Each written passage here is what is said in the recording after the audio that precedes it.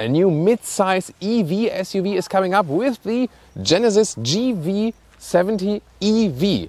This vehicle here is available with combustion engine, both petrol and diesel, but now there is the electric version and you can see it here with the closed grille, but in this dot structure. And with Thomas and Autogefühl for you, we'll tell you all about you need to know with this vehicle, including the driving part. Burgundy is this very interesting color here for today. We also have some other color choices, for example, a red one or a matte green, military style, or my favorite, the matte gray. That looks best I think. And that here, the closed grille, you can see the tail, uh, the tail lamps. That's the other side, right? The front lamps here, very slim. Daytime running light integration. That looks very modern. So quite modern styling in the front. Do you like it? 4 meters 72 or 186 inches is the length here of the Genesis GV70. The EV version is no different. So from the exterior, you cannot differentiate it from the side profile. The direct competitor would, for example, be a Mercedes GLC, but that's not available electric yet. Well, here 20 inch wheels mounted for today. And we can see that we have the chrome frames around the windows, has an elegant styling and a very interesting design line right here. Suspension wise, the EV version directly comes with the otherwise optional ECS, that's the adaptive dampers, and here also in the preview function, so it scans the road ahead. And it sometimes does beeping sounds. really clean design here also in the rear with these tail lamps that are very horizontally drawn and very slim. And did you know that this is also a performance SUV? Has all-wheel drive, one electric motor in the rear, one in the front. 4.2 seconds is the acceleration figure to 1 kilometers an hour or 62 miles an hour. Very impressive. And also for efficiency, they both use on the rear and the front axle a permanent synchronous motor and that means they are more efficient but usually they're always running even if you're rolling but they can decouple the front electric motor when rolling, so there's then less resistance. And then usually when you're just like running rather straight, just the rear electric motor is active. So it is predominantly then a rear wheel driven car and then front electric motor when you really need it. The top speed is 235 kilometers an hour or 146 miles an hour. So they also thought about the German Autobahn. yeah, we Germans need the high speed, you know. So um, and we'll test the German Autobahn, of course, with this one here today. Something that the Genesis logo can be mistaken for a Bentley logo or vice versa. What's your opinion on that? Tell me in the comments. And there is indeed here a small frunk. Oh, ain't that cute? Well, at least you do have one. Would that be a relevant factor when buying an EV? Tell me in the comments that as well. And talking about the engines in general, about the general vehicle here, general vehicle. Well, this is the EV version, 77 kilowatt hours net battery. That will bring us a range more or less 400 kilometers or 250 miles, maybe a little bit more. We'll see about that later. It also features a heat pump, so you don't have so much range losses in winter times. Other than that, the general platform here of the vehicle offers a petrol engine 2.5 or in the US also a 3.5 liter V6 and also a 2.2 liter diesel. Charging port is here hidden in the front. That looks cool, right? And it has a 800 volt architecture. That means charging from 10 to 80% state of charge when you have a proper DC charging station in less than 20 minutes. And this is indeed segment leading. And turning indicator check. That looks quite fancy, doesn't it? just in the rear, it's not that spectacular. The reason here they keep it in the lower part is that when the hatch is opened, you can still see it. That's also mandatory or by, by law, actually. By the way, we also caught a pink vehicle color. looks also interesting, doesn't it? This is the key fob, and it also features the remote parking feature, and that means when you close, you have to close it, then have this hold button, then you can. Well, I almost ran over Michelle's foot now. That was close. so um, let's say you have a narrow parking lot or something, then you can remotely park this car in and out and hey, stop, stop. I have to use the force.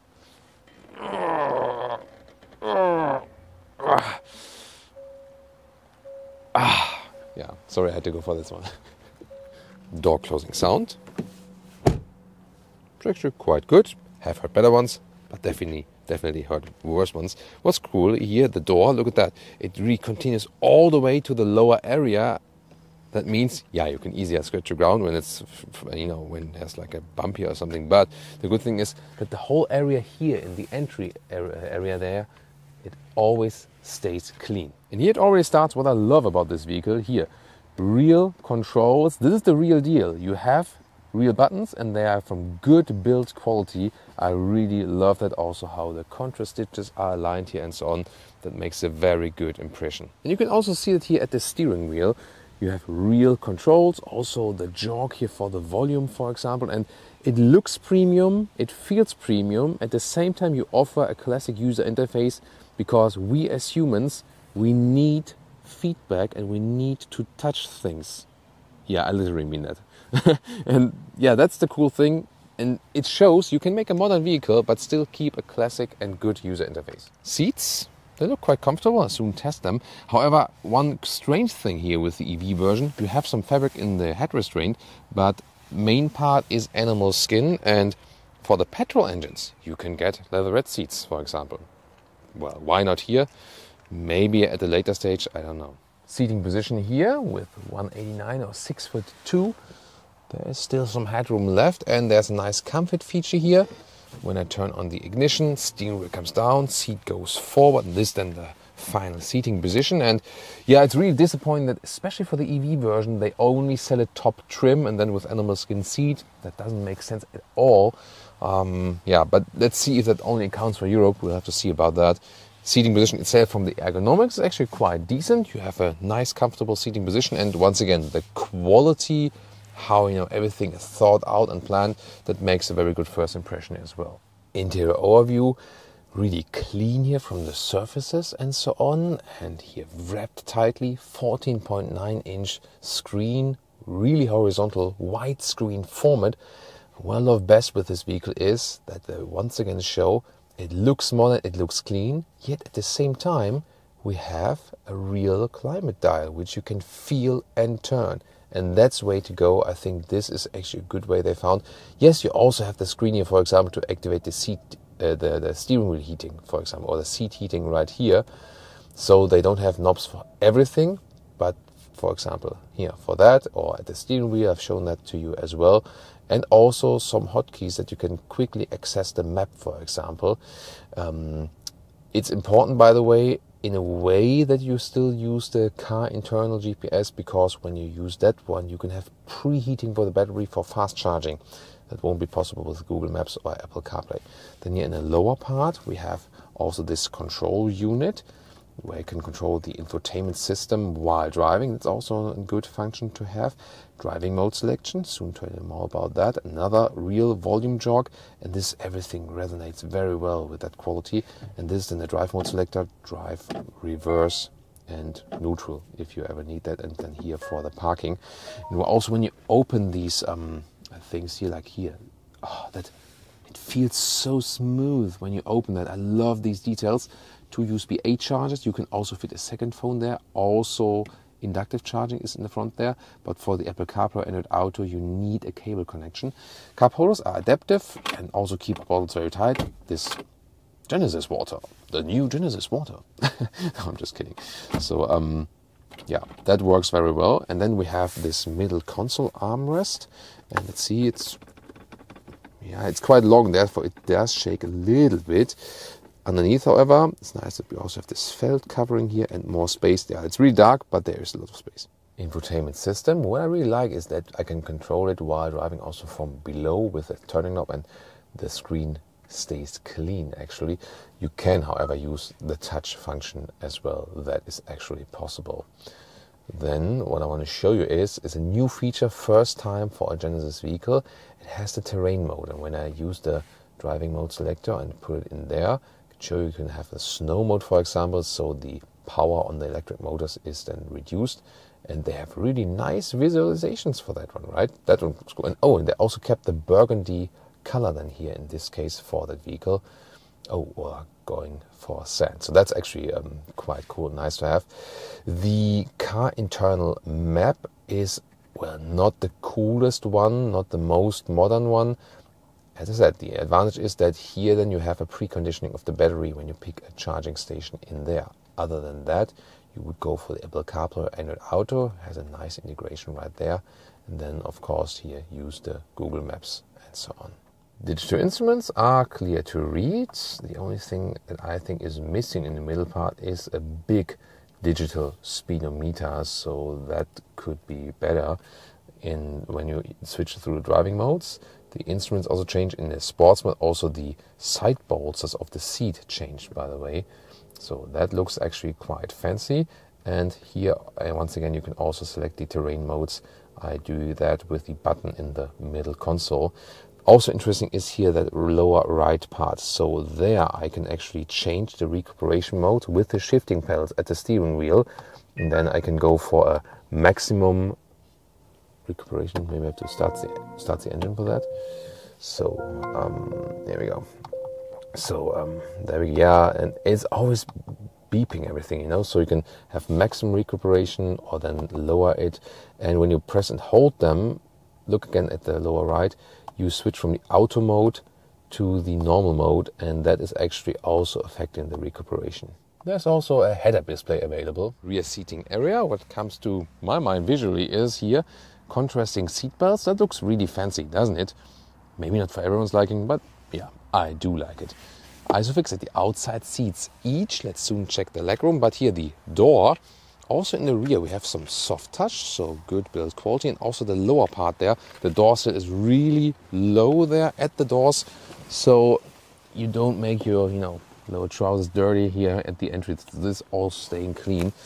Legroom when I'm driving here as a tall driver, um, it works. It's not abundant actually. You cannot change the back part here. Here it works very well with the recess, but when a tall driver is driving, not too much legroom. Headroom, however, is actually totally fine. Then, although it is EV, it is also a platform sharing with the ICE models. Therefore, there is yeah, like this, this, this small step here in the middle part, but it's more or less okay. So, in the middle position, you can sit, but it gets close with the legs yeah, maybe not the most comfortable one, but it works for shorter trips, for example. There's also always a nice feature here that you can move the passenger seat from here, the so-called gentleman's function. yeah, you know why. Um, but that also helps when, for example, when you're sitting here in the rear and want to control something. In the middle part here, you can slide down the cup. They're not adaptive at all, though, so not that helpful in this case. But overall, a decent rear area. Oh, and not to forget, this lever here changes the back part of the seat. So then you can make this one a little bit steeper. Well, that's maybe too steep or more backward. But yeah, I think the backward position in this case is the best choice. You would put like this when you need more trunk also. Porsche Macan style opening here for the trunk. Otherwise, there's also this cool function that when you access the vehicle with the key in your pocket, you just stand still and then it opens automatically after a few seconds. Here, then the trunk space you don't lose too much here in the EV version. Width is a meter of 40 inches. The length is a little bit less than a meter of 40 inches, so a little bit missing right here. And the total height here is about 72 centimeters or 28 inches. Um, well, it could be higher underneath the cover here. This is, you know, like a free cover without rails, um, but you have more space here in the wheel arches. There, the trunk gets a little bit wider, but you can see here when you use this one here, it's not high enough for you to, well, this, yeah. So not ideal. I would like a little bit more depth underneath this cover here. You can put smaller things in here, but for a charging cable, I think that won't even work.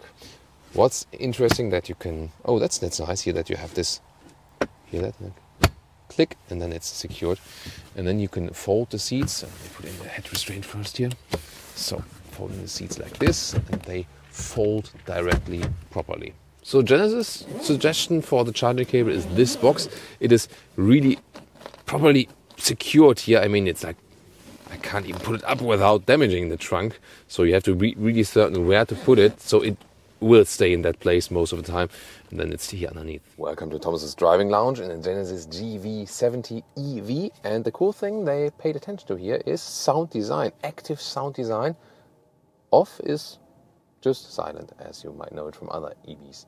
Then you can go minimized, normal, or enhanced, like how strong it is actually pronounced. And ooh, I'm not. I, I put it to enhance that you can really hear that, and then by these you can actually pick what you want to have. And S engine is provides a sporty engine sound for electric vehicles. So this is then basically emulating an interesting. Emulating a combustion engine and let's listen to that. Like then there is E motor provides a natural electric motor sound for electric vehicles. Natural electric motor sound?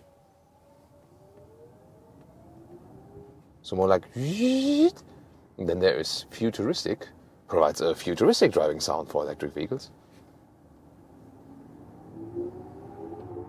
okay that's more like engage so, what would you prefer? All silent, a more futuristic sound, a subtle sound, or more like a growling engine like sound? Um, yeah, I think, um, you know, I would like when there is a sound that kind of gives you back a natural feeling of something that is alive in a way, you know? So, I like a sound when it sounds like growling and you can like really feel it in a way, you know. But that's what I'm always talking about. Why can't you just pick like, hey, today I'm feeling like V8, today I'm feeling like inline six cylinder or whatever, and maybe today I will have sound off. So, but this already comes close to that. So I think it's uh, actually a, a, nice idea. So um, it would be cool if we could do a live vote which one we um, we leave now here in our review and it's by the way cool when I control something like that. I don't have to like reach over here, but I can do that here with the with the turning knob. So maybe leave it to normal and put it to the S engine, so we don't have it that much, but just a little bit. You know, let's let's try it with that one actually. So I follow the Apple CarPlay, Google Maps then here for our guidance today. We can now see something of the ambient lighting here, for example, around this area, also inside of the doors a little bit. Actually quite cool. I also um, put up the, the brightness for that. Steering feel is actually quite decent. So it let's see how it changes throughout the driving modes. You have to reach down here when I go, for example, to the sport mode. Is it stiffer? Yeah, yeah, so in the sport mode we have a little bit more resistance. That's actually a quite nice feeling. Also the bolsters um, come a little bit closer to you. You have to stick quite a lot. I would say it is um, most comparable to a Mercedes driving feeling from the steering, um, whereas the Audi ones are, for example, more progressive. And the BMW, mm, the X3 would be the comparing model to that is also a little bit sporty in the, in the, in the feeling, I would say. As for the driving modes, in the sport mode, you have more response from the throttle. You also have a boost mode function here for 10 seconds. You have then the maximum boost for this vehicle here. You can activate it at the steering wheel, and we'll also try that out very soon when we go to the German Autobahn. First, here some cruising, therefore, we can also leave it then in the comfort mode. It's actually quite silent here. We'll also test that at a higher speed later. The adaptive suspension does a good job, so it is relatively sporty from the setup, I would say. We also have 20 inch wheels mounted. That also accounts for this sporty driving feeling. But indeed, it feels very sophisticated here. So the combustion engines already, you know, the, these versions there from the GV70 already told us that it's a very, very good competitor here in the mid-size premium SUV segment. So it's definitely on par with you know BMW X3, Mercedes GLC, Audi Q5, and all of these have their specialties in some certain areas. And to me here, the cool thing is really that they offer us a classic user interface. So I can really just easily change the temperature while driving, and especially Mercedes is going away from that uh, BMW also with the new OS 8 then as well. Audi is a little bit more classic, more traditional than in, in this case. Yeah, then brake feel, because always the thing with electric vehicles, do you still have a proper brake feeling? But so far, satisfied with that. It's actually a quite uh, quick response, and I already talked um, talked about the recuperation modes You can leave it, for example, at level 2, then you have some notable recuperation already, but it's maybe not too much, like G-force on the passengers, and can also go with the I-pedal, maximum recuperation, then you really have one pedal driving. So I leave the foot off the throttle, and there's strong recuperation. So you can do that. It really depends on what you want. And then, of course, when you use the brakes, also the regenerative braking is being activated. I talked earlier about efficiency gains by decoupling or using clutch on the front electric motor. As soon as you need more regeneration, then the motor is also, you know, being engaged once again. For example, when you leave the foot off the throttle, then there's some recuperation at the rear axle, but then you have more recuperation needed, and then the front one is also being activated once again. Uh, at the end of the test drive, we do like a longer loop now. We'll also talk about the final real world energy consumption here. Um, if you know the estimations of this vehicle of the EV range, then are also being confirmed. Let's now hit the motorway, push the throttle.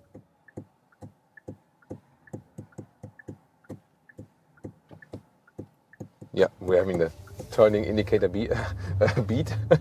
yeah, that's what Michelle and I do when we are on driving events. Yeah, nice. so let's put it to the sport mode and hit the German Autobahn. Yeah, there we are with the sport mode. I also have this enhanced sound now. You can have something of the active sound design. And what about the acceleration of this one? So I'll start at 40 kilometers an hour and accelerate it out. Let's go.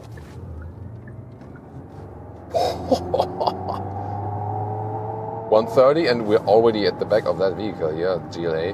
Wow, that was 40 to 130 and now when we're already at speed at 110, let's go. Woo! 150, 170. That is super quick and wow, also really high speed stuff. 200 kilometers an hour, 125 miles an hour, and now hard on the brakes full recuperation plus using the rear brakes and good braking performance indeed. Wow, that is good agility like that and also lane changes here. That's nice. Adaptive suspension set on the sportier note than here in the sports mode. Uh, sports mode. Sports a sports note in the sports mode, right? so here another lane change.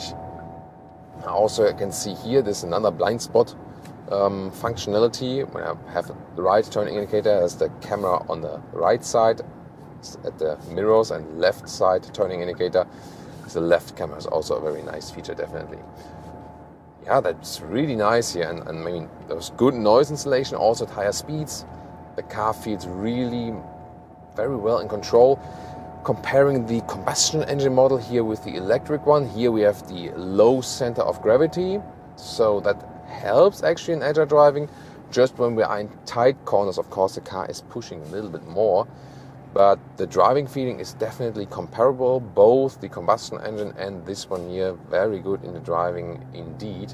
I mean, in the US, it's especially attractive to pick the 3.5 liter V6, of course, for this engine as well, you know. But it depends on the charging infrastructure it's really just a pity. I mean, this EV here drives so well, but the so far offering of animal skin only in a modern electric vehicle, it's that's actually almost that is actually a deal breaker, you know. So I really hope they will have some markets uh, worldwide where they also offer these leatherette seats or well, whatever.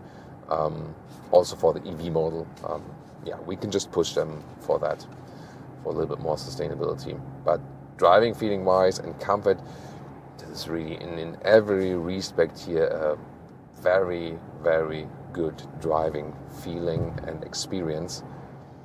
The question is just what about the agile handling when it gets you know when it gets a little bit tighter?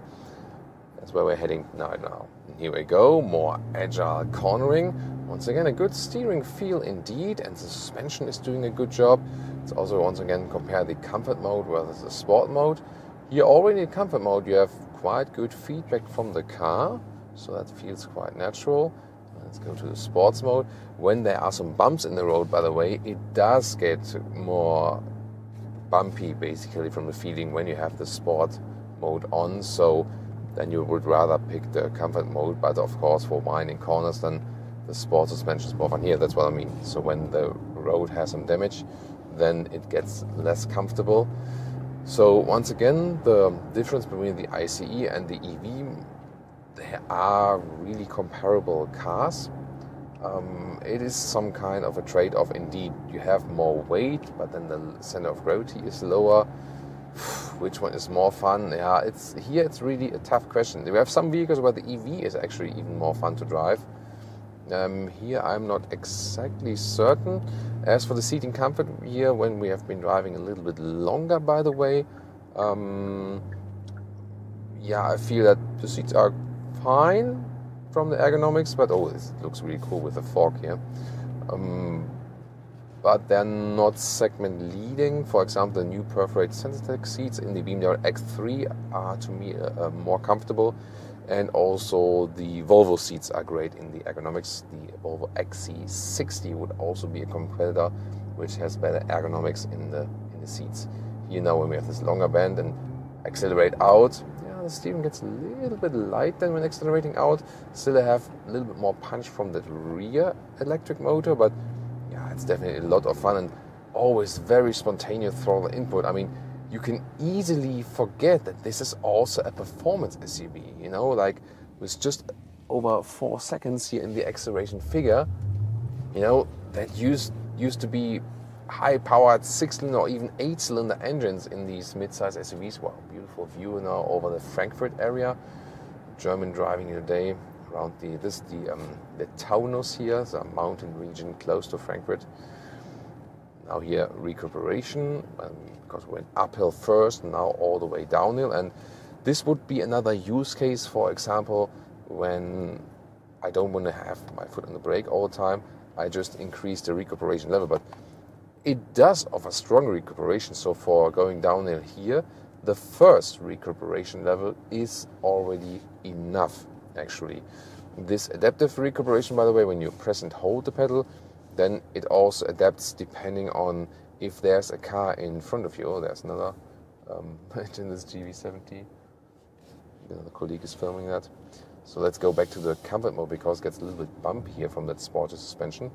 So there's adaptive recuperation. When the car is in front of you, then there is recuperation. When there's no one in front of you, the car is rolling. So that would also be an idea. And yeah, meanwhile, I think it's good when you can choose these modes and then you can just pick the driving mode where are you most comfortable with. And also here, depending on how far we're going down, eh, you know, and then I can also, I'm, I'm not doing anything with my feet at this moment so you can just control it if you want to have it a little bit stronger or not. And of course, the energy consumption after this motorway, high speed driving, and also going uphill went up quite a lot. You know, I do a stronger recuperation now with the left pedal. But when we're going downhill, we will gain back a lot of energy, and then we can tell you more about the final real world EV driving range for today. And here we go, real world range. So on our test loop, we had topography changes, but also high speed motorway driving here on the German Autobahn. That, of course, put the consumption a little bit higher than usual. But it's also a realistic uh, thing, at least in Germany. and then we end up at 23 kilowatt hours on 100 kilometers. That is some 35 kilowatt hours on 100 miles. In this case, then only a range of 330 kilometers or 200 miles, also with somewhat cold temperatures, not too cold though. If we would leave out the high speed motorway driving, we would more come close to some 20 kilowatt hours on 100 kilometers or some 32 kilowatt hours on 100 miles, and that would bring us closer to a 400 kilometers or 250 miles range. That is the same also when you have like an Ioniq 5 or the Genesis GV60 um, or the Kia EV6. Only that this one here, because it's a little bit bigger, has you know some range disadvantages. So it is not the range king, more king in the quick recharging if you have the according charging station. If then the ICE model, the petrol engine, is more relevant for, to you, we have here the GV70 review of that for you, or a direct competitor would be the BMW iX3.